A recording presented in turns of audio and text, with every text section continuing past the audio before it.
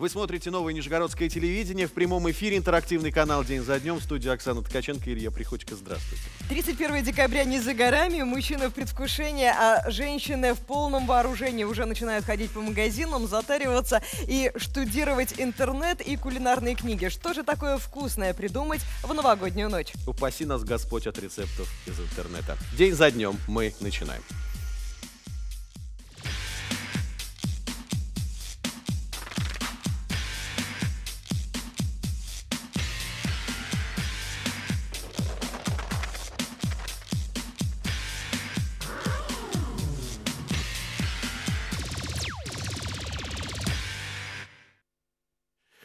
На самом деле э, новогодние праздники это не только время для отдыха души, но и время специфической нагрузки на желудки россиян, наверное, так. 10 долгих дней предстоит нам э, есть, доедать готовить, снова доедать, ну и так далее. И каждый выбирает для себя, как проведет новогоднюю ночь. Кто-то в кругу семьи и будет готовить по каким-то фирменным рецептам, по семейным рецептам. Кто-то выберет кафе, ресторан, кто-то поедет за город, будет жарить шашлыки. Вообще возможностей очень-очень много, но мы сегодня в эфире попробуем раскрыть все тайны, как а, правильно подготовиться к новогоднему столу, причем без лишних, наверное, каких-то ценовых затрат, да, и без лишнего морального ущерба. Вот э, как процесс подготовки э, пищевой части у тебя проходит? Проходит? Ты готовишься, то есть у тебя где-то там с утра 31-го разделочные доски. Ты знаешь, к моему счастью, все последние года проходило так, что 31 декабря был рабочим днем, и когда приходишь домой уже в 8 часов вечера, минимальный какой-то набор продуктов питания готовится, на стол выкладывается, и все уже счастливы. Обращаемся к руководству, нет смысла что-то менять для Оксаны в нынешнем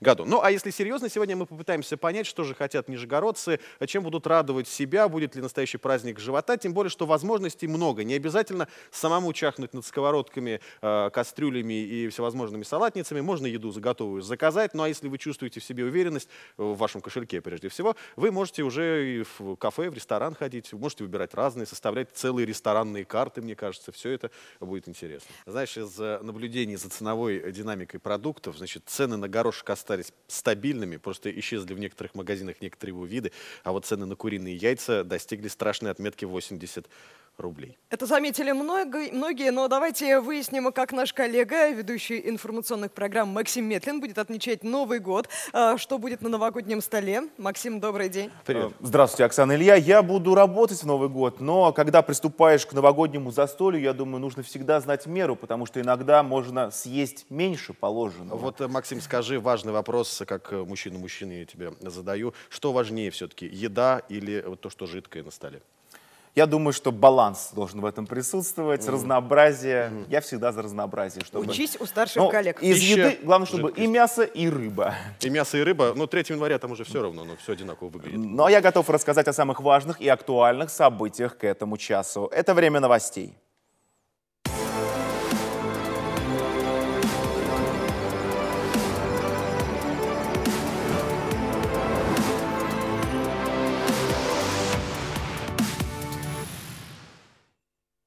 И прямо сейчас о том, что уже произошло в Нижнем Новгороде и области.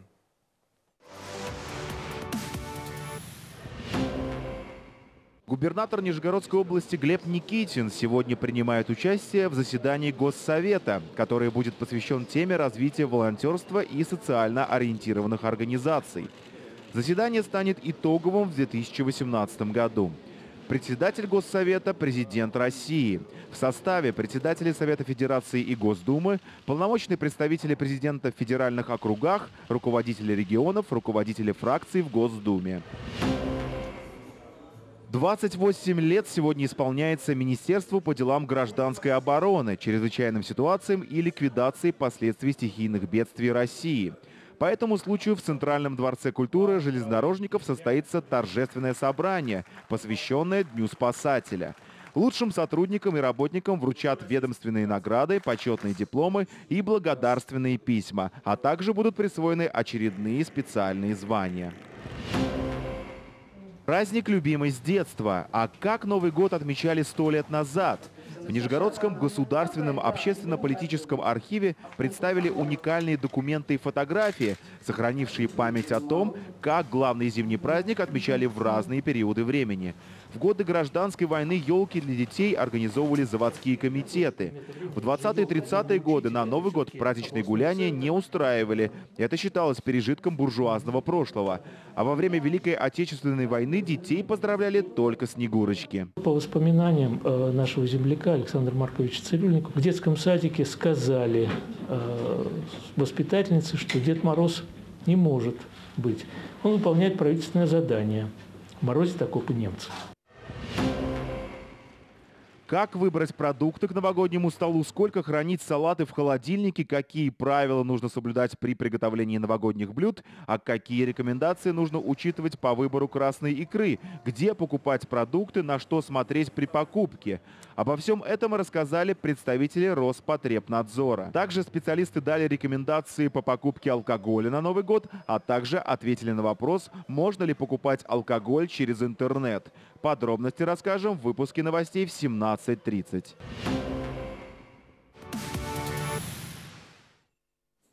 Сертификат на 250 тысяч рублей сегодня в Нижегородском Кремле торжественно вручили учителю физкультуры школы номер 156 Нижнего Новгорода. Сергей Лебедев стал лауреатом заключительного этапа Всероссийского конкурса «Учитель года России». С одним из лучших педагогов страны лично встретился глава региона Глеб Никитин. Рад вас приветствовать. Присаживайтесь, пожалуйста. Получить признание не только на областном, но и на федеральном уровне для Сергея Лебедева – главная награда. К участию в конкурсе «Учитель года» преподаватель физкультуры готовился долго и тщательно. Уже после первого этапа, на котором нужно было провести методический семинар и открытый урок, Сергей Лебедев вошел в число лучших участников. Все учителя и весь образовательный комплекс региона объединился, помогал. Значит, это была такая совместная работа, хотя, конечно, нельзя ни в коем случае недооценивать личный вклад. Я лично лично сам участвовал, э, смотрел, когда был региональный э, этап отбора учителя года, видел мастер-класс от э, Сергея. Я уже тогда почувствовал, что с этим парнем у нас все будет хорошо, и у нас большие шансы на победу. На втором этапе Сергею Лебедеву предстояло пройти сразу три испытания. Провести мастер-класс, классный час и представить членам жюри свой образовательный проект. Готовить выступление помогали сотрудники регионального института развития образования и профильного министерства. И как результат, преподаватель физической культуры школы номер 156 Нижнего Новгорода стал одним из 15 лауреатов учителя года. Но главным успехом своей профессиональной деятельности Сергей Лебедев считает не личные награды. Искреннюю такую радость испытываю не а, от своих побед в частности, да, а от побед своих детей. И пускай порой они начинают говорить, что я всего добился сам, я все смог, я прорывался, а за спиной у него стоят его родители и учитель. Сергей Лебедев – единственный участник от Нижегородской области, кто за последние 10 лет вышел в финал «Учителя года». Кроме того, он стал первым преподавателем физической культуры, кто за всю историю проведения конкурса вошел в число лауреатов. Валерия Стародумова, Максим Веселов. Время новостей. А вот что еще будет проходить сегодня в Нижнем Новгороде. В 14.00 впервые в выставочном комплексе откроется персональная юбилейная выставка произведений мастера по кружевоплетению Галины Котовой «Балахнинское кружево». В 15.00 в школе номер 69 глава администрации Московского района Владимир Карапотин встретится с руководителями муниципальных учреждений и организаций. В 16.00 в выставочном комплексе откроется персональная юбилейная выставка керамики Марины Абдулиной. На этом пока все. Вернусь ровно через час и передаю слово своим коллегам. Оксана Илья. Спасибо, Спасибо, Максим. Ждем тебя ровно через час со свежим выпуском новостей. Как он хорошо начал фразу. 250 тысяч рублей и вручил губернатор, да, и только хотелось подняться для того, чтобы получить эти 250 тысяч, но не нам, но другому достойному человеку, человек, учитель физкультуры, который стал учителем года. Вот когда станешь физруком, а я трудовиком, тогда, может быть, что-то и получится. Возвращаемся к нашей основной теме, предновогоднее настроение, но и еще и планы предновогодние, которые э, касаются прежде всего стола. Чем угощать себя в новогодние праздники? Стоит ли готовить самому или искать какие-то другие варианты. Попытаемся сегодня на этот вопрос в прямом эфире ответить. Что будет у вас на вашем праздничном столе? Э, решили вы или нет? Делитесь рецептами. Почему нет? 434-3477, телефон прямого эфира. Как мне нравится вариант, когда ты озвучил другие варианты развития событий, лишь бы самой не готовить. Собственно говоря, такой вариант и присутствует в нашем опросе. Он уже размещен в нашей группе ВКонтакте «День за днем». Там а, активно уже идет интерактивное голосование. Готовите ли вы сами на Новый год, спросили мы у вас. Вариант первый, да. Оливье, сель под шубой, вот Мясо это вот по-французски и так далее. Это то, что мы готовим из года в год, и ничего не, не хотим менять. Выбирайте этот вариант, если у вас так. А, вариант второй, наверное, для экономных. Иду есть к друзьям и знакомым. А, сразу вспоминаем про всех друзей, которые у нас есть, были да. и будут, родственников, и идем к ним. Стоит напомнить им о себе перед Новым годом, если вы хотите быть сытым. Ну и последний вариант. Ну, знаете, ну сколько можно делать что-то руками? Зачем что-то выдумывать, когда у нас есть прекрасные заведения, можно из любого абсолютно заказать все, что захотите, побаловать себя тем, чего вы не пробовали ранее. Голосуйте вариант тогда для вас последний в нашем опросе. Телефон прямого эфира 434 34 77. Можно дозвониться в наш эфир, а рассказать, может быть, о своем каком-то фирменном блюде, почему именно его нужно подготовить и почему вы его готовите из года в год. А, обязательно дозванивайтесь, выслушаем вас. Если есть какие-то вопросы к шеф-повару или к тем людям, которые занимаются доставкой еды на Потому дом, что к нам с тобой вопросов быть не может. будет Это- возможность. И специалисты из Роспотребнадзора также появятся в нашем эфире. Ну а прямо сейчас предлагаем посмотреть э, наш э, видеоматериал нашей коллеги Екатерины Набирковой о том, как отправиться в магазин и правильно подготовиться к наступающему Новому году. Подготовка к встрече Нового года начинается с разработки меню. Первое, что стоит помнить, покровительница 2019 года – свинья, поэтому никаких блюд из свинины. Замените жирную лопатку или окорок, например, на утку с яблоками или курицу. Если желаете диетического мяса, запеченная индюшка. Баранина, говядина, рыба тоже допускаются. Рецептов море, поэтому сложностей никаких не будет, от самых простых до изысканных. Если отталкиваться от символа грядущего года свиньи, то помним, что кабаны и поросята любят овощи, поэтому на праздничном столе должны присутствовать морковь, картофель, свекла, обязательно капуста, любимое блюдо свиньи и символ прибыли.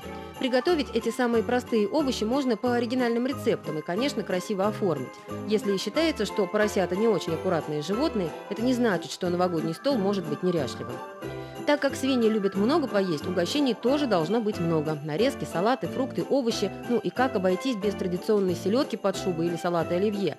Конечно, эти любимые закуски будут на столе большинства россиян. И, конечно, главное украшение новогодних интерьеров – елка, но есть некоторые нюансы именно года 2019 -го. Так как грядет год желтой свиньи, при оформлении стола должен присутствовать этот цвет. Ну и, конечно, традиционный новогодний красный. И побольше зелени, и красиво, и угодите покровительнице года. Диетологи каждый год напоминают, что есть ночью не очень-то полезно и привычно для нас. Поэтому праздничный ужин должен быть все-таки не в 12 часов ночи. А вы, курантов, встречайте бокалом шампанского и фруктами. И не забывайте, новогодние праздники длятся больше недели, поэтому не стоит перегружать свой организм в новогоднюю ночь всякими излишествами и алкоголем. Умеренность во всем приумножает радости жизни. Осмотрели мы сейчас этот видеоматериал, и мне показалось, у кого-то из наших замечательных операторов заурчало в животе. Но для того, чтобы понять, а что нужно приготовить в новогоднюю ночь, чтобы следующий 2019 был успешным, счастливым, а самое главное вкусным, узнаем у нашего эксперта, который прямо сейчас а, появится в студии. Это шеф-повар Нижнего Новгорода Руслан Галуза. Руслан, добрый день. Заходите к нам. Проходите, присаживайтесь. Здравствуйте. С наступающим вас. И вас также. Вам никто не говорил, что вы похожи на Деда Мороза? И вам кажется, Говорили, легко но больше, больше склонны говорить, что я похож на Санта-Клауса. Я против, я больше на Деда Мороза согласен. Руслан, имеет значение для повара, каким будет следующий год по всем этим невозможным китайским гороскопам? Или самое главное вкусно приготовить? Ну, вкусно приготовить это действительно очень важно, но любая смена года, конечно, имеет значение. Почему? Потому что повара, люди не глупые, тоже следят, что будет в тренде. Вот это важно. То есть если у нас кто-то там любит э, китайские гороскопы, но мы все знаем, что свинину наш народ любит, то повар должен как-то выкрутиться, чтобы и свинина Он может была. приготовить из свинины, сказать, Да, ребят, да, да, да. это индейка. Что вы, все нормально. Нет, он, он должен сказать, что это игрушечная свинина или свинина пластилиновая, неважно. Ну, в общем-то, чтобы как бы и человека не обидеть, и в то же время во вкусе не, разочаро- не не разочаровать. Есть какие-то тренды на 2019, на предстоящую новогоднюю ночь? Чем будете удивлять тех людей, которые придут к вам? Ну, безусловно, тренды есть. Э, сейчас э, очень большой э, тренд – это здоровое питание. И все, что делали раньше, тот же самый оливье или сельдь под шубой, можно делать… без майонеза? Ну, можно делать майонез самостоятельно, и это тоже очень важно, не покупать. Можно делать э, овощи печеные, и это тоже сохраняет очень многие свойства овощей и плюс дает дополнительные вкусовые качества. То есть есть очень много сезонных овощей, которые раньше были недоступны или, например, э, доступны, и мы как сумасшедшие, допустим, там покупали летом апельсины, да, хотя они созревают зимой. То есть э, если человек соблюдает сезонность, это уже полезно.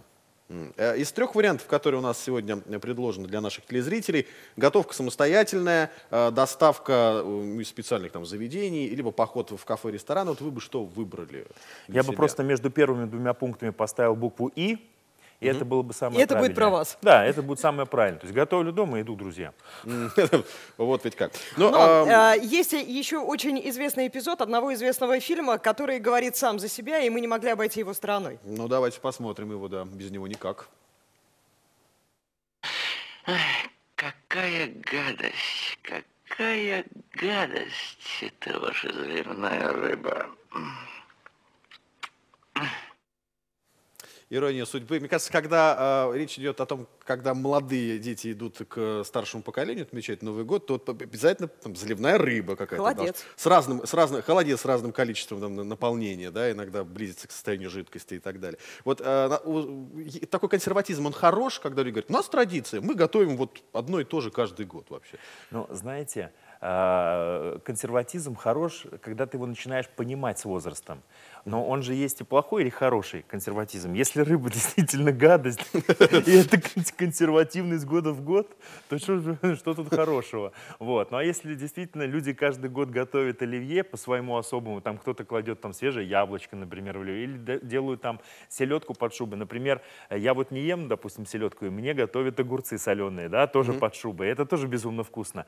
Но это уже традиция, и я, конечно, радуюсь. Но вы за эфиром говорили нам, что э, не селедку под шубой, хотя и ее тоже, и заливную рыбу тоже можно вкусно приготовить. Ну, конечно, можно и нужно. Просто я говорю, что это э, сейчас как раз вот э, мы говорим о трендах. Здоровое питание – это один из трендов. Второй тренд – это возрождение русской кухни, национальной, скажем так, потому что это тоже важно.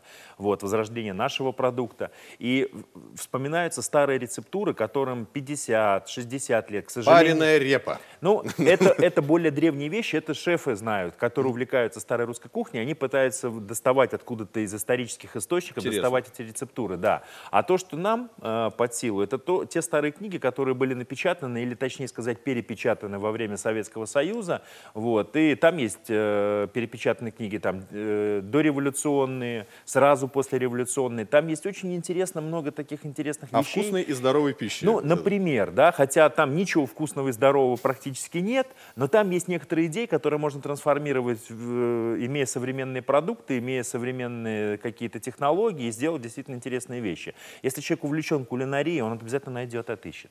Можно ли сделать новогодний стол еще и экономным? Попробуем понять прямо сейчас. Эксперты подсчитали стоимость новогодней продуктовой корзины в России в 2018 году. И вот какие цифры получились. Ну, конечно, она вырастет. Э, сразу забегаем вперед. Э, и слегка, конечно, не вот прям кратно. Э, сейчас это 6253 рубля на семью из четырех человек. Таков новогодний набор за такие деньги реально ли что-то приготовить действительно сытное, стоящее для семьи из четырех человек, как вы думаете?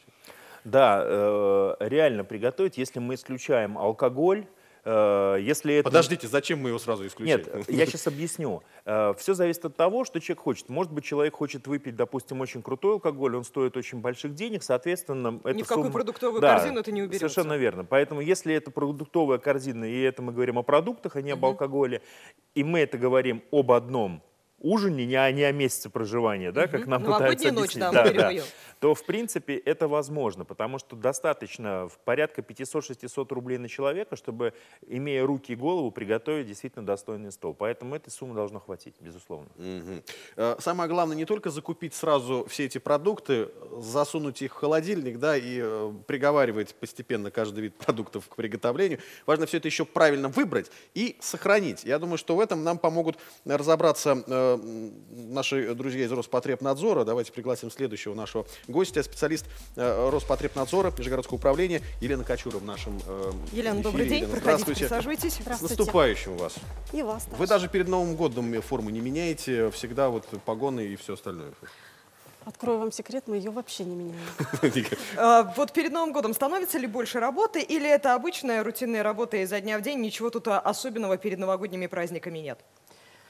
А, Вообще-то граждане становятся активнее, потому что все ходят по магазинам, все сталкиваются с какими-то проблемами, возможно, и быстро на них реагируют. У нас а, граждане сразу пишут обращение к нам. На что жалуются чаще всего в таком случае? А, Жалуются на реализацию с истекшим сроком годности продукции.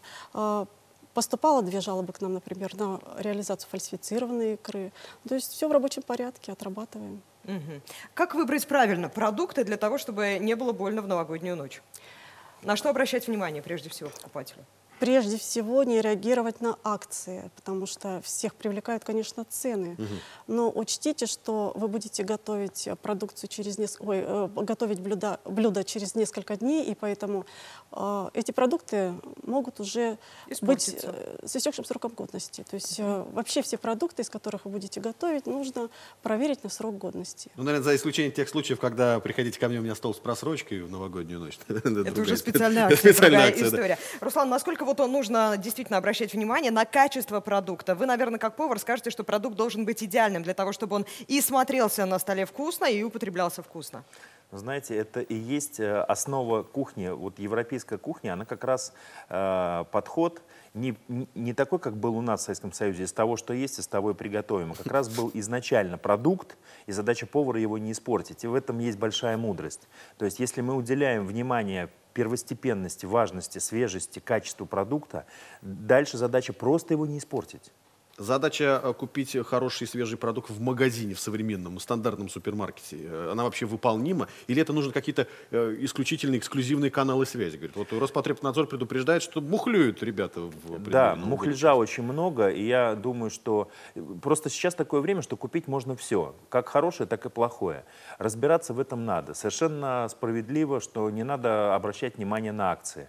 Очень много э, акционного товара для- только для того, чтобы сбросить. Сейчас полки магазинов перегружены. Задача маркетологов и задача ритейла продать. Да? И не задача накормить, удивить, Задача продать и заработать, и это надо просто понимать. Если человек это понимает, он э, знает, что он будет готовить, он понимает, на бумажке надо написать, это такой-такой лайфхак, что вы собираетесь купить, пошли посмотрели, выбрали лучшее, купили, и поверьте, что зная объем купленного, вы и деньги сэкономите, и продукт у вас будет хороший, и ритейл начнет задумываться, почему хорошее берут, а плохое нет, и, возможно, пойдут улучшения. И Так что- ходить надо не на пустой желудок. Это тоже важно. Ну, это совершенно верно, тоже И важно. давайте не будем забывать, что все-таки ни в одной семье ни одна новогодняя ночь не обходится без той самой бутылки шампанского. Насколько я знаю, Елена, ваше управление также проводило проверку и этого напитка. Ну, у нас в постоянном режиме осуществляется контроль за качеством и безопасностью алкогольной продукции в течение всего, всего года, не только под Новый год. А, Хотелось бы, пользуясь случаем, напомнить потребителям, что покупать алкогольную продукцию дистанционным способом нельзя. Нашим законодательством это запрещено. А, Употребляя такой алкоголь, вы можете причинить вред своему здоровью. А, То есть у вас есть возможность э, вообще покупать э, э, алкогольную продукцию нужно только в стационарных организациях торговли. Интернет э, не поможет. Исключен, исключен. Это противозаконно. А, Покупать в организациях торговли э, алкогольную продукцию э, вы можете спокойно. Э, Можете э, обратить внимание на документы, которые сопровождают эту алкогольную продукцию. На бутылку посмотреть, внешний вид, содержимое бутылки, изучить этикетки. э, То есть э, выбор сделать такой, как вам нужен. Какой нужен, да. Наличие акцизной марки говорит о качестве продукта? Нет, э, о качестве продукта говорит декларация о соответствии этого продукта, которая подтверждает, что этот продукт безопасен. Это отдельная бумага, которую при желании можно затребовать в торговой точке. Это документ э, на законном основании, который каждый потребитель может потребовать у продавца, и он обязан предоставить этот документ. Мгм. Отдельная тема а, с салатами. Давайте, да, про нее поговорим. 31 декабря делается салат, ну, знаете, так, Большой тазик. на литра 10 дней. полтора, полтора, 10 дней, не знаю, возможно. И все это, значит, потом разными членами семьи, уцелевшими гостями доедается в течение новогодних праздников. Есть ли какие-то рекомендации, сколько это вот хранить, не знаю, там, э, вот этот цистерну оливье, когда ее надо? Вы говорите страшные вещи. Ну, К сожалению, такое бывает. Вообще нужно учесть то, что все, что вы приготовите к праздничному столу, вы должны скушать в течение суток. Мгм. То есть э, объем нужно рассчитать на количество членов семьи или гостей. А, На стол э, выставляются ваши праздничные блюда порционно. Не надо все выкладывать то, что у вас имеется сразу же. А как же что богатство показать? Богатство будете показывать э, постепенно, удивлять будете всю ночь. А, Просто э, вы должны помнить, что скоропортящиеся продукты не должны храниться при комнатной температуре а, больше двух часов. Все, значит, два часа прошло, пожалуйста. Сутки холодильник, Уже два часа дома. без него. Да, то же самое это касается и э, незаправленных салатов. А, кстати, заправлять салаты можно только перед подачей к столу. Заправленные салаты не хранятся даже в холодильнике. Так вот, незаправленные салаты, компоненты к салатам хранятся в холодильнике также не более суток. Жестко. Руслан, какой салат тогда приготовить для Вы того, как-то очень чтобы... погрустнели сразу.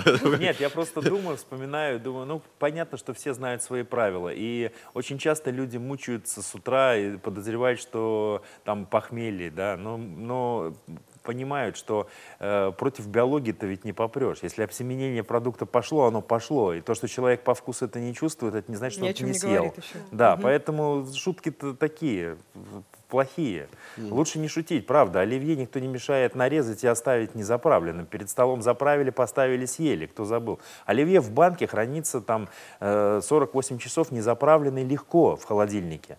Отсыпайте, заправляйте, ешьте, никто же не мешает. Ну вот правда, мы привыкли тазиками. А самое главное, что э, то, что было сказано, мы действительно не понимаем объемов. Я могу для, для телезрителей наших сказать просто, что человек за два часа может съесть 600 грамм еды. Всего? Да, он больше Как же съест. меня Дальше, вошло тогда дальше в геометрической прогрессии это будет уменьшаться. То есть фактически за три часа он съест примерно килограмм. Вот. И это э, не считая выпитого. Больше не съедите. Женщины сидят намного меньше. Ну, сделайте примерный расчет. Это не так э, сложно на самом деле. Вы посчитаете, сколько надо килограмм еды, допустим, на стол из четырех человек. После этого вы можете сделать простую математику. В любом случае, за сутки вы это съедите. Просто очень многие люди жалуются на недостаточность средств, не понимая, что у них лежит в холодильнике. В холодильнике у них лежит 50% еды и 50% мусора. Это я вам гарантирую. Любой холодильник проверив, можно в этом убедиться. Под мусором что подразумевается? Мусор — это продукты, которые вы не сидите и выкинете. То, что вы потом по- пойдет в пиццу. Да, это то, на чем зарабатывает ритейл, да, и что потом может пойти в пиццу.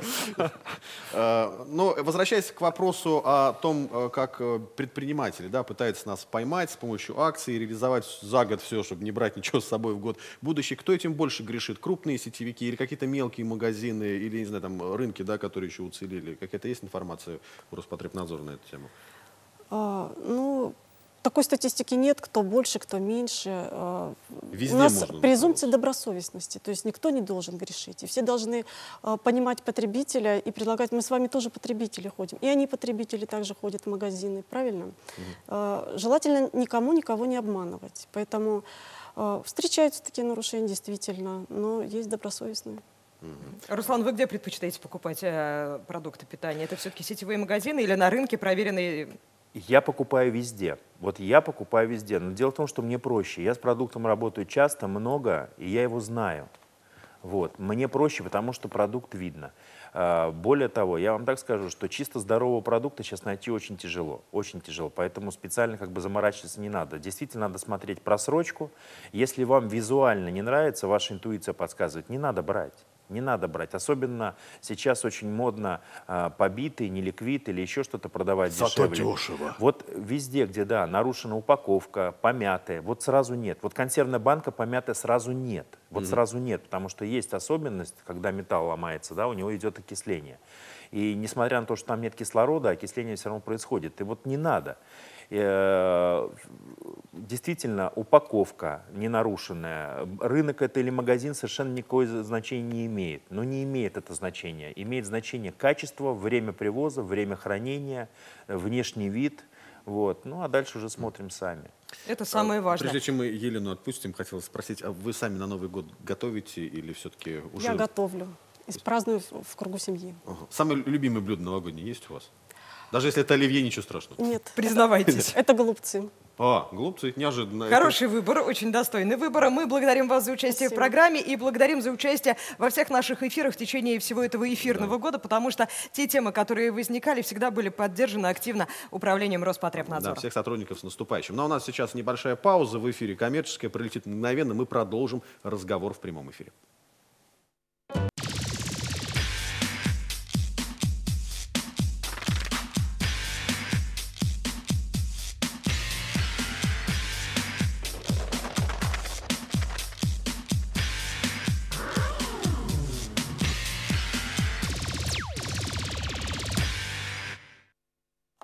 Мы продолжаем пищевую тему в прямом эфире на НТВ. Что приготовить на новогодний стол? Стоит ли вообще готовить или есть другие какие-то способы? Э, Ждем э, ваших голосов в нашем опросе. Вы сейчас это- будете завидовать, потому что у нас в эфире все вкуснее и вкуснее. Руслан Галуза взял на себя такую нелегкую ношу. И даже Вот уже что-то съел, пока шла Из реклама. того, что у нас есть, и из того, что немножко принес он, приготовить, ну, что-то красивое, вкусное. Руслан, что может получиться из того набора продуктов, который сейчас у нас есть на столе?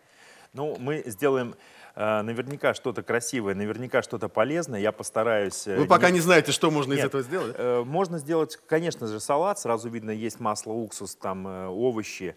Но ко- я кое-что принес интересное, тоже еще расскажу. И э, сделаем салат, но не совсем банальный. Ага, не банальный салат э, в эфире. В эфире нового Нижегородского Это интересно. телевидения. Руслан, мы оставляем вас с этими продуктами питания. Можете ни в чем себе не отказывать, начинайте работать. Отлично. А мы сейчас э, переключимся на другое направление, которое вот как раз уходит от того, чтобы делать что-то самому руками. А Мы приглашаем в студию основателя и генерального директора группы компании «Автосуши» Максима Бурганова. Максим, здравствуйте, проходите, присаживайтесь. Добрый день. Рядом с нашим э, кухонным столом сегодня уж э, вот так Мы получается. не Вы как раз времени. отвечаете за то направление, когда вас угощают. Когда вы вот пытаетесь всех нас освободить от каких-то обязанностей по столу и готовы привезти много всего вкусного домой. Уже много-много лет, да? Да, 9 лет уже. Девять лет уже вы нас э, освобождаете от этой ответственности. Насколько я знаю, вы вот э, до последнего не принимаете заказы в э, предновогоднюю ночь. Или, может быть, что-то изменилось за последнее время? Нет, до последнего не принимаем, потому что, во-первых, очень много. Вот, и, во-первых. Во-вторых, сотрудников тоже нужно отпускать домой. Чтобы Они тоже то- хотят они отмечать тоже хотят Новый год. отмечать Новый год. То есть вы не из тех руководителей, которые на всю новогоднюю ночь Нет. на прикол ставят... И 1 января мы не работаем принципиально никогда, как бы нас ни просили, потому что... Вам не нужны деньги, мы поняли. Нет, нам просто нужны довольные сотрудники. Но смотрите, суши, наверное, теряют популярность все-таки. Нет. И нет? Нет, И совершенно. те тенденции, которые были 9, 8, 7 лет назад, они сохраняются и до сих пор также востребованы. Вы знаете, э, если продукт хороший, он востребован всегда. да. Мы много, уже тысяч лет там едим салаты, хлеб и все остальное. Это просто относительно новый для нас продукт. э, И по меркам там, вселенной, э, там 10 д- там, лет 20 это не срок, о чем. ни о чем, не срок для продукта, совершенно верно.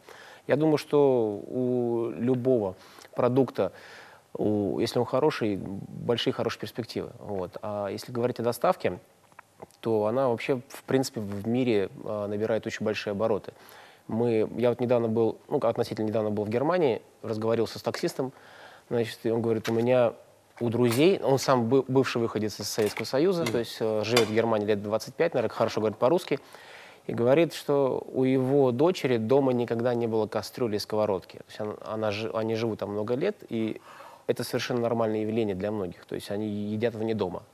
То есть я сейчас ни в коем случае никого не призываю есть вне дома. То есть, э, э, немецкие домохозяйки не стоят э, 31 декабря где-то там А, мо- чанами. над может и стоят, но в повседневной жизни, как бы, да, в- они совершенно спокойно ведут и где-то потребляют, потому что там это, во-первых, очень развито, во-вторых, это относительно недорого. Э, С тем уровнем дохода, который они имеют, они могут себе позволить какую-то часть своих доходов тратить на питание вне дома.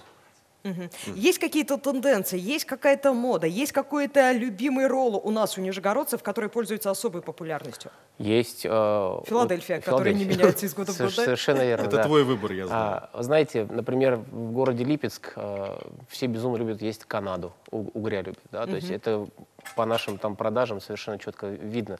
Но нижегородцы едят рыбу. Карту, карту суши можно составить, наверное, да, в каждом городе? Конечно, да. Мы, кстати, ее составляем, мы знаем а, уже как минимум в 26 городах. э, Где какие особенности? Где какие особенности у людей. И они отличаются, поверьте, в корне, как в европейских странах Мгм. друг от друга. Но у вас не только направление японской кухни, есть еще, ну, скажем так, итальянская кухня, это направление пиццы, да? Да. Вот все-таки что у нас у нижегородцев больше популярно? Это японская Это не та кухня пицца, или куда мы итальянская? скидываем то, что вот... Да, а, да, я, я, холодильнике. чем я говорили уже в первой половине, я да. уже посмеялся за эфиром, только, да, правда, когда вы это говорили. А, сложно сказать, что популярнее. А, это, знаете, как вот м, выбрать между, наверное, мороженым и борщом. Где-то вот там, вот из этой же о- оперы, потому что, а, во-первых, у этих продуктов разный а, потребитель. В большинстве случаев пицца это дети, мужчины. а, суши это больше женщины. Дети и мужчины, я понял, Вот. в одну категорию попали. Да, Все понятно. совершенно верно. Поэтому сложно сказать, что популярнее. А, говоря о доставке, вот сейчас это все стало в последнее время очень доступно, благодаря тому, что появились всякие агрегаторы, службы доставки. Вы, я так понимаю, не работаете с ними? Мы э, работаем с одним из агрегаторов, но не везде. Вот, э, Очень а- осторожно как-то к этой теме. Очень осторожно к этой теме относимся, а- а, относимся, и агрегаторы мы больше используем в качестве привлечения заказов, но не в качестве осуществления самой доставки физической. То есть Мгм. как это делает ну, известный там, небезызвестный там Яндекс. Да. Мгм. Вот, э, вообще организация служи- собственной службы доставки достаточно дол- долго, дорого, сложно. Вот. И позволить себе это может не каждая компания. Вот. А пользоваться, допустим, вот, э, услугами сторонней доставки могут себе позволить компании, либо для которых доставка это не профильный процесс, либо если очень большая маржинальность у продукта. Но все равно довольно затратная история. Вы не планируете отказываться от собственной службы? Нет, от собственной службы не планируем. Во-первых, э, я очень сильно переживаю, знаете, за что? За то, что конечный потребитель будет иметь дело с посредником, который, пока я не понимаю, как будет нести ответственность за какие-то возникшие, возможно, возникшие ситуации. Продолжим. Ну, услышали эту вас, а, Руслан, а вы уже все.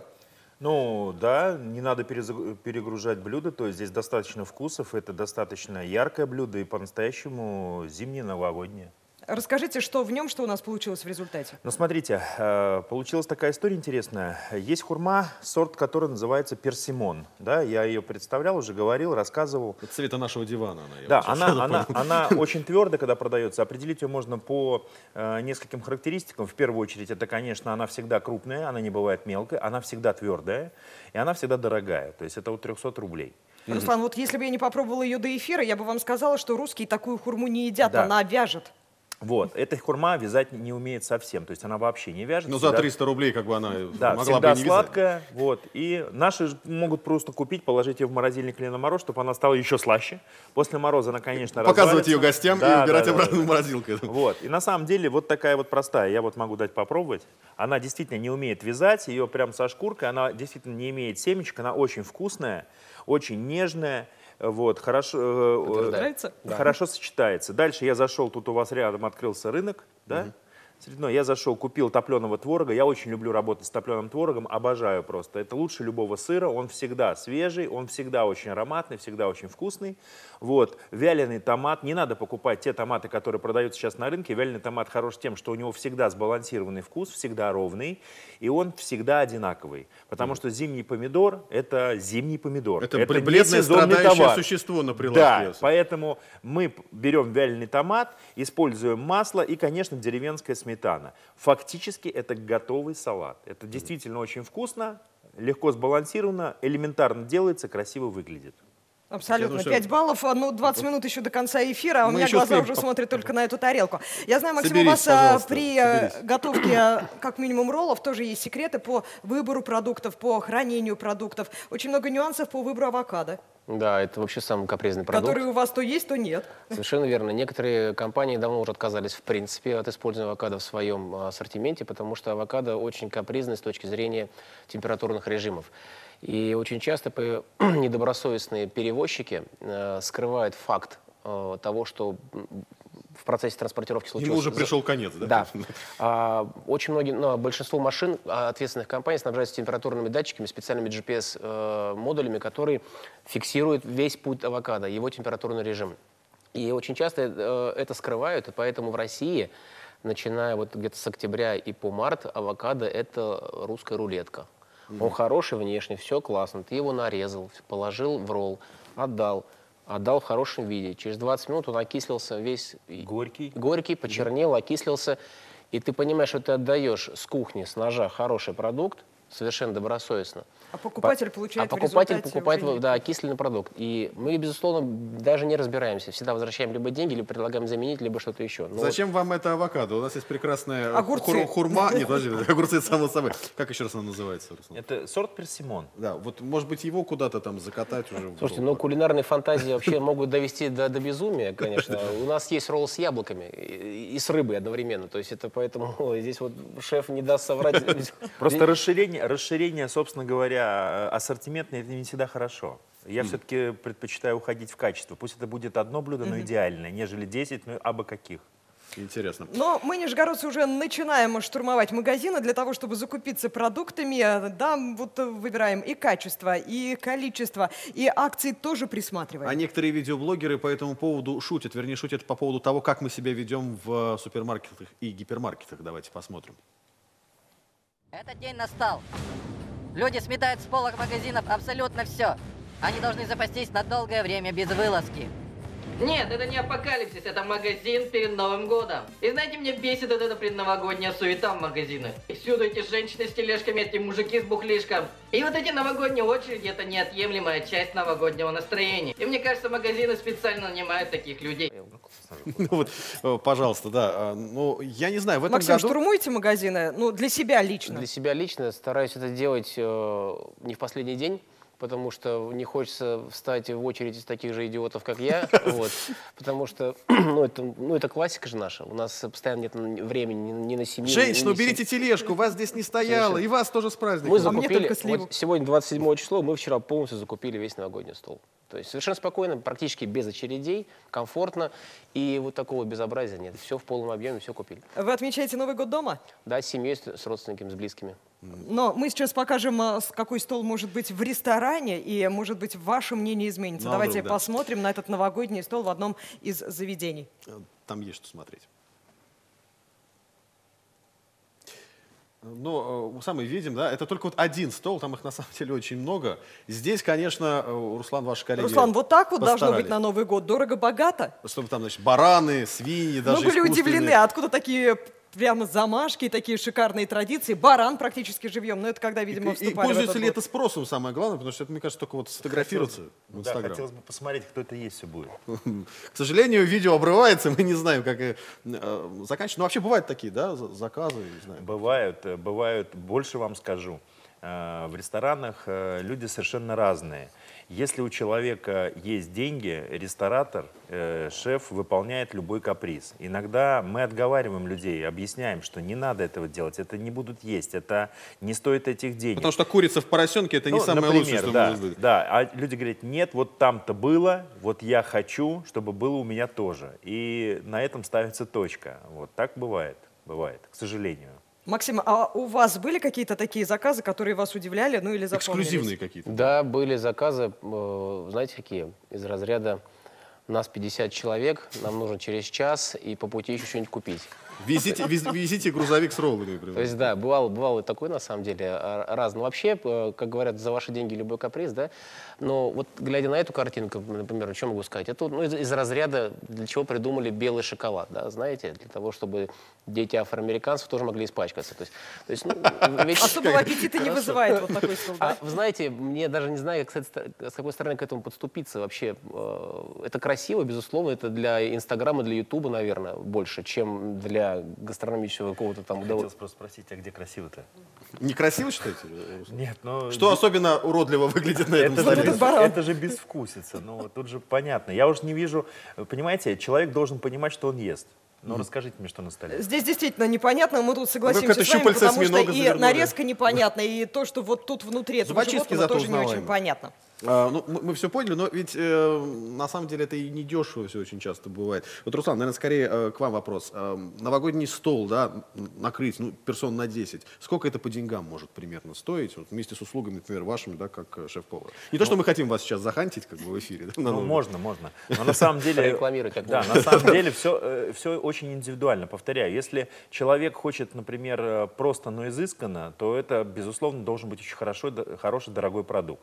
Вот. Если человек хочет получить гастрономическое удовольствие, а не обожраться, да, это еще одна история. Потому что, ну, давайте, что греха таить, все люди делятся там на две категории. Одни про культурно поесть, другие про пожрать. Да, и вот от этого уже будем исходить. То есть, если мы хотим э, гастрономический оливье, где овощи запечены или приготовлены сувид, там, со специями, с, по специальным технологиям, вот, с очень хорошим мясом, там, или с перепелкой, например, и, или с раковыми шейками, или мы хотим банальное советское оливье с колбасой, и что, ну, главное, чтобы было Ну, чтоб много. красиво полежало, Да, да. чтобы было много. То есть это все зависит от цели заказчика и так далее. Задача повара все это хорошо исполнить, безопасно, вкусно, в конце концов. Насколько Вот. тяжелая у, у вас профессия есть? Это Ну, интересная ну, профессия. да, профессия интересно. созидать мне вообще нравится, когда человек приготовил, и он видит результат своего труда. Вот мы с тобой сейчас отэфирим, и что, мы даже не заметили, как эфир прошел. Но мы искали информацию, на самом деле, сколько стоит провести новогоднюю ночь э, в кафе, в ресторане, и нашли такую среднюю арифметическую э, цену вопроса. И э, не знаю, насколько она велика, сейчас с экспертами попробуем обсудить. Да. Попросим- Это... попросим показать. Будьте добры, покажите. Сколько стоит новогодняя ночь? Это реальные цены в одном из э, ресторанов Нижнего Новгорода. Новгорода. Значит, 5500, где оригинальная программа, ну, по их мнению, живая музыка, зажигательная дискотека, фотосессия, конкурсы, призы, новогодний фейерверк, ну и, конечно же, новогодний Важная стол. история. Алкоголь здесь не учитывается. Алкоголь можно там, по-моему, даже с собой приносить, насколько я Вот понял. 5500 Что это интересно. нормально, Максим? Я вообще думаю, что в этой стоимости а, оплачено все, кроме продуктов практически. Здесь, стола-то и не будет, Здесь стола-то и не будет. В, том, в том смысле, что, он, вернее, он будет, но это же, смотрите, а, это и аренда, и услуги людей, которые все это обслуживают, там, и так далее, и так далее. Дома за 5500 вы накроете на человека такой стол, что вы будете до Старого Нового года пытаться это все уничтожить. Но там из аниматоров будет только теща и Ну, дедушка. Не, да. не самый плохой думаете, вариант. это кстати. мало? Да, поэтому 5500, я думаю, для какой-то категории людей, которые хотят э, что-то получить, веселья. праздника какое-то веселье, это может быть даже и недорого. Потому что Здесь есть очень о- один интересный вопрос, который многие люди упускают. То есть люди покупают саму цену и не думая о том, сколько будет людей. Смотрите, цена пропорционально будет возрастать. Чем интереснее программа, соответственно, она должна быть дороже, но сумма будет уменьшаться, если будет делиться на определенное количество людей. То есть 5500, а насколько это рассчитано, на Ну, сколько там людей? маленький зал. Да, если на 100 человек, то мне становится плюс-минус понятно, потому что аниматоры стоят денег одинаковых. Работают они для 10 человек или для 50 человек, это правда, да? Вот. э, живая музыка тоже стоит одинаково. Здесь вот в чем вопрос. Если это вечеринка на 10 человек, да, и 5500 стоит, то здесь уже стоит задуматься. В общаге такой можно сделать, Да. студенческой. Я понял. Э, С Максимом мы выяснили, он отмечает Новый год дома. Руслан, а вы на рабочем месте, видимо.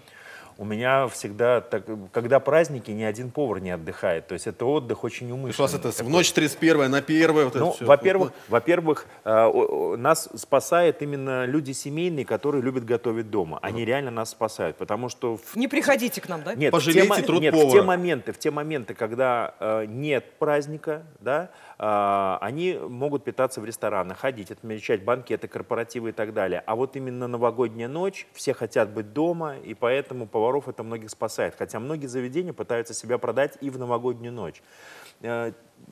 Сугубо мое мнение, это, конечно, лишнее. Такое имеет право быть, но, возможно, в крупных городах, возможно, в туристических зонах, где люди приезжают. Но Нижний Новгород пока не дотягивает до этих, как бы, таких вещей.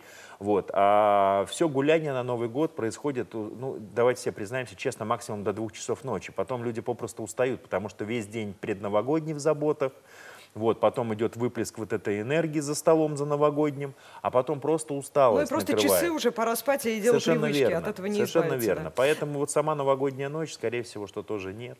Скорее Стоит всего, э, не переоценивать ни свои э, силы, ни силы заведений, которые вас будут принимать. Но многие поедете. нижегородцы действительно, как Руслан и отметил, остаются дома. Кто-то заказывает еду себе на дом уже готово, а кто-то пытается все-таки справиться своими руками. Мы спросили нижегородцев, есть ли у них фирменное новогоднее блюдо и какое именно. Ну, результаты такие очень стандартные. уж. Давайте посмотрим. Говорят, э, свинюшку готовить нельзя, будем покупать говядину, индейку. Мандарины. Ну, только то, что готовы сделать дети вместе со мной. Это что? Ну, не знаю, как-нибудь по-новому украсить традиционные салатики. Чтобы было красиво, по-новогоднему. Селедку под шубой, так незначительно салатики легкие. Селедку под шубой. И у всех она любимая в нашей семье, потому что готовим ее не часто, только на Новый год и по праздникам. Как традиционное оливье, а, различные салаты, курицу мы всегда готовим, всякие сладкие конфеты. Ну, наверное, по старинке, я не знаю, это жареная курица с картошкой или мясо по-французски. Оливье. Я поняла. Все, все, хватит. Селедка под шубой от любимого. По фирменному рецепту. Салат оливье и мандарины. Уж если у нас все приняли, что оливье и шу, под, селедка под шубой, значит уж как традиция. Морепродукты там, э, ну не знаю. Короче, мандарины есть, салат будет, все будет хорошо. Сначала так мечтательно морепродукты, а, А потом, потом а, мандарины есть, всё, уже ничего не надо, не пойдет. Но на самом деле у меня какое-то чувство противоречия, и хочется сказать, не хочу, не хочу ни селедку под шубой, не хочу Надоели ни оливье. мандарины, все надоело, да? Можно... Вот вы смотрели и улыбались. Э, Вас удивили ответы нижегородцев? Ну, знаете, э, мне очень понравилось то, что мы будем готовить мандарины. Да, это вот мы однажды были на одном мероприятии, вышли оттуда с одной единственной фразой. Повару сегодня особенно удался банан. То есть э, это вот примерно оттуда. Как бы, ну, забавно, конечно. Максим, у вас есть какое-то фирменное блюдо? Вы уже попросили что-то, чтобы вам приготовили вот такое и удивили, что А фирменное блюдо у нас в семье одно, это плов уз- узбекский. То есть я в достаточно длительное время прожил в Узбекистане, а отец у меня оттуда родом. И, в общем, у нас одно фирменное блюдо в семье, вот это плов. И вот мы будем 1 января его готовить с утра. Свет. То есть все-таки в новогоднюю ночь плова не будет? Нет, не будет. Нет, это, это такой... а, Ритуал определенный. Автопати должен быть. наверное. А, О- Очень Слушайте, вкусно, интересно. действительно. И Плов на самое автопате, главное, это? свинюшку не обидеть, наверняка с бараниной. Не, не, будет. индейка будет. Вот Индейка. еще демократичнее. А, Руслан, а есть какое- какое-то пожелание, рекомендация вот э, тем телезрителям, которые сейчас есть? Какие шаги предпринимать, чтобы было вкусно на новогоднем столе? Ну-ка, послушайте новогоднее обращение Да. Руслана эфире. Итак, на самом деле, ну, мы уже говорили, в начале программы говорили, изначально это продукт. Не надо жалеть денег на хороший продукт. Пусть его будет меньше, но он будет хороший. Вот. И новогодний стол э, очень хорош, если вы э, возьмете, и сделаете его просто немногим, но разнообразным. Ну, возьмите, там, условно говоря, 200 грамм рыбы, 200 грамм мяса. Вот. И можно приготовить уйму всего. Мясо можно просто хорошо обжарить. Э, сделать это можно традиционно. Очень нас, э, э, у у многих, я знаю, в семье обычай лепить пельмени. Это тоже замечательная традиция такая. Слепили, сделали э, сварили тут же их, да, то есть и очень многие люди э, занимаются соленьями, которые достают на новогодний стол, и это тоже большое подспорье. Вот знаете, к- сколько бы изысков в мире не было, но просто отварная картошка, даже в мундире, да, из каких-то Это мой вариант, разносолами, да, она просто, ну просто крутая, просто крутая, потому что это как бы у нас вот соленый огурец, помидор говорил. бочковой. Я тебе говорил, да? Это же В здорово. следующий раз придет, скажет, макароны вот эти в пачках продаются. Не, а вот, а люди очень многие, знаете, любят. Они вот любят кусочек сала, капуста, там, рюмка водки холодной. И для них это маленькое человеческое счастье. Вот этого всего как Свой бы... праздник. Да. Стоит ли доверять рецептам из интернета вдогонку? Потому что сейчас С чего начали эфир? побежали О, в сеть. Ну, на самом деле, э, я сам иногда участвую, помогаю там и людям, и даю какие-то рецепты в интернет. Но поверьте, что то, что приготовит один человек и будет готовить второй, никогда не будет два одинаковых Сложно блюда. повторить. Мгм. Даже дело не в этом. Дело в том, что разный продукт, разное исполнение, разная скорость, учитывается все. Ну, это как люди женятся, да, а борщ, как у мамы, не получается. Совершенно И верно. как бы я не, не любила готовить плов, как у Максима Бурганова, вряд ли, конечно, у меня получится. У каждого своя история. Давайте подведем итоги интерактивного голосования. Мы спросили, вы готовите сами на Новый год, и вот какие результаты получаем к этой минуте. Э, Только 7% или целых 7%, даже больше выбирает вариант, что сейчас все можно заказать на дом. Но Ну, это а что, почти каждый десятый, Илья. Ну, в общем, да, и популярная тема становится. А, каждый десятый также идет кушать к друзьям и знакомым. Готовьтесь, э, берегите свои холодильники. Ну и А вот 80% это большинство по стандарту. Оливье, селедка под шубой, мандарины и все вот такое самое ну, любимое. это ведь тоже неплохо, наверное. Это да? отлично. Это, это традиции, которые, э, слава богу, еще живы. Ирония судьбы на экране. Если это хорошо исполнено, это просто замечательно.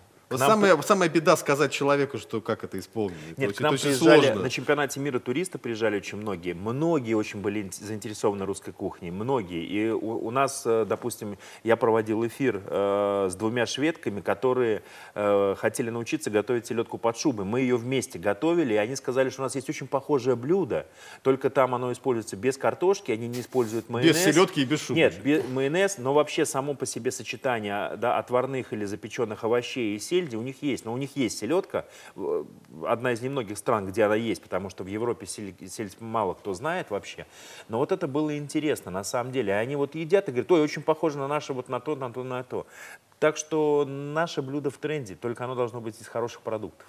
Спасибо, Спасибо. экспертам за участие в нашей программе. Для себя я Здорово. сделала два вывода. Если покупать продукты, то только хорошие, качественные и, самое главное, красивые, чтобы вот на вид они даже были красивые, поэтому получится хорошее блюдо. И если хочется что-то, что на доставку, Мгм. да, то делайте это сейчас, не откладывайте на потом, потому что потом может быть уже поздно. Для себя я сделал один вывод. Картоха, мужики. Картоха. Максим А, Метлин возвращается в наш эфир. Может быть, он тоже из нашего эфира сделал какие-то выводы. Максим? Ну, я предпочитаю, конечно, картошку, очень люблю. Ну, а вам пожелаю приятного аппетита. Спасибо. Спасибо. И готов рассказать о самых важных новостях к этой минуте. Это время новостей.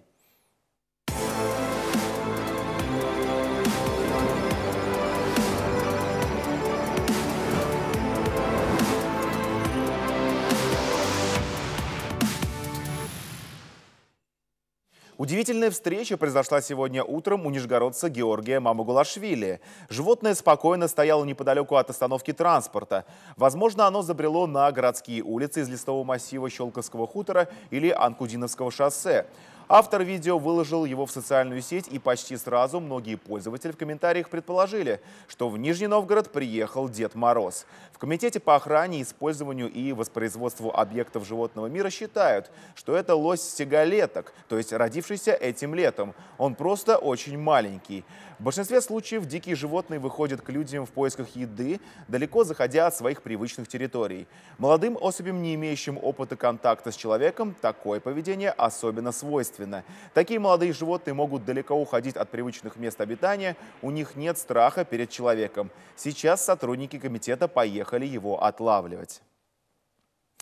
Праздник любимый с детства, а как Новый год отмечали сто лет назад. В Нижегородском государственном общественно-политическом архиве представили уникальные документы и фотографии, сохранившие память о том, как главный зимний праздник отмечали в разные периоды времени. В годы гражданской войны елки для детей организовывали заводские комитеты. А В 20-е и 30-е годы на Новый год праздничные гуляния не устраивали. Это считалось пережитком буржуазного прошлого. А во время Великой Отечественной войны детей поздравляли только Снегурочки. Во дворец по воспоминаниям э, нашего земляка Александра Марковича Цирюльникова в детском садике сказали э, воспитательнице, что Дед Мороз не может быть. Он выполняет правительственное задание. Морозит окопы немцев. У меня все к этому часу о развитии событий в 17.30. В 16 часов коротко о главных событиях дня. А в 17.15 очередной выпуск программы «Патруль ННТВ». Оставайтесь на новом Нижегородском телевидении. И прямо сейчас драматичный военный сериал «Разведчицы».